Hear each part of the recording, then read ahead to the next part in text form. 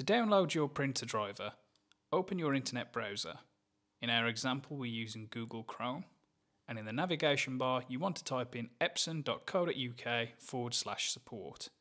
Press enter, and you'll be presented with this website. Scroll down, and in the search by product name box, type in your printer model. In our example, we're using the ET8550. Wait for the drop down menu to appear here and click on your model number.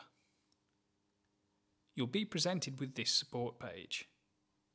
The operating system that you're using will have automatically been detected. If for any reason this is incorrect, click the drop down menu here and select the correct operating system. You can then click Go to refresh the website. Scroll down and we want to go to drivers.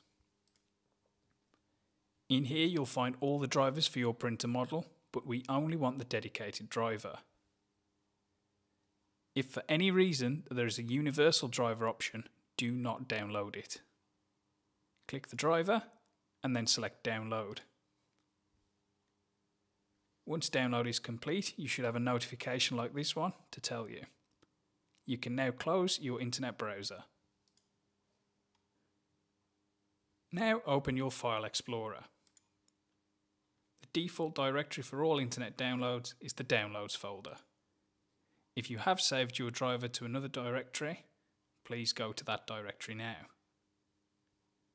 Double click the driver and this will start the installation process. Allow access by clicking yes and the driver will unzip. You may want to set this as your default printer. Click OK.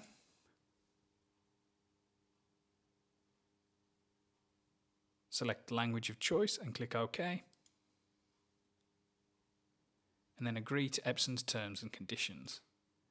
Once done, select OK. Your driver will now install.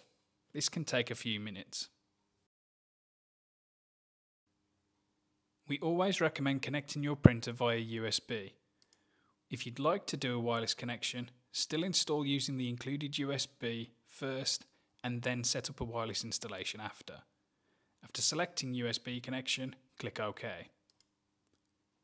This will now look for your printer. Ensure the printer is turned on and connected to your computer.